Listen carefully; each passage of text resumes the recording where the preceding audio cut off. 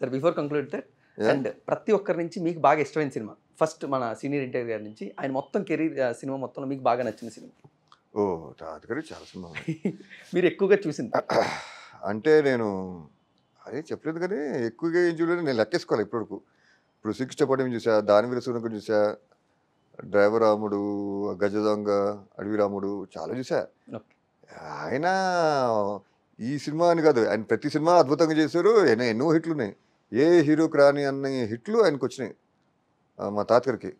So ఈ ఈ cinema అనేది ఉండదు తాతగారు. ఎందుకంటే అంత అద్భుతంగా పర్ఫామ్ చేశారు. దట్స్ వై ఆయన విశ్వవిఖ్యాత నట సార్వభౌమ అని పేరు వచ్చింది సో ఈ టాప్ టెన్ అని ఉండదు. ఇక్కడ ఎన్టీ రామారావుకి టాప్ టెన్ అని లేదు. Top hundred top two hundred. Two hundred కాదు టూ హండ్రెడ్. ఎందుకంటే ఏ సినిమా చూసినా ఆయన అంత కసిగా చేశారు ఆయన పర్ఫార్మెన్స్. శ్రీకృష్ణుడు చూసుకుంటే ఆయన శ్రీకృష్ణుడు చేశారు పదిహేడు పదిహేడు సినిమాలు చేశారు. అన్ని సినిమాలు ఆల్మోస్ట్ అన్ని హిట్లే. సో నాకు టాప్ టెన్ లేదు మా తాతకి టాప్ హండ్రెడ్ లేదు. అన్ని టాప్ ఆయన చేసిన సినిమాలన్నీ నాకు టాపే గ్రేట్ సార్ సార్ అంటే ఆయన సినిమాల్లోనే కాకుండా పొలిటికల్లో కూడా అలాంటి ఇంపాక్ట్ అలాంటి ఎనర్జీ చూపించారు ఆయన.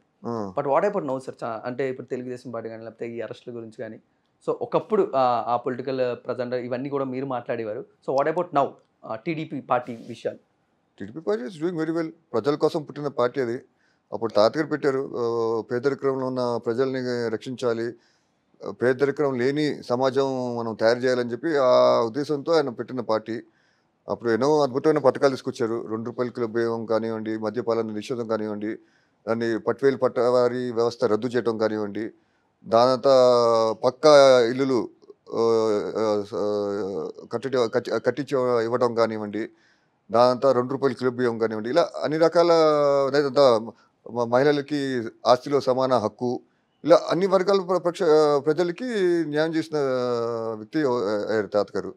సో తా తర్వాత తెలుగుదేశం పార్టీ వచ్చి చంద్రబాబు హయాంలో ఇంకా నెక్స్ట్ జనరేషన్స్కి మనం కాలం మారుతు మారుతూ ఉంటుందండి. సో దాని తగ్గట్టుగా మనం పాలసీస్ విధానాలు మార్చుకోవాలి.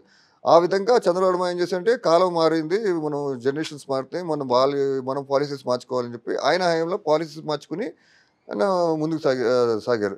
లైక్ ఇప్పుడు మీరు చూసుకుంటే ఐటీ మన road infrastructure developments jobs jobs ఇప్పించడం దాంతో like outer ring road inner ring road international airport metro దాంతో ఫార్మా సిటీ దాంతో రోడ్ వైడనింగ్స్ ఇలా అన్ని విధాలుగా దాంతో దీప పథకం Yes.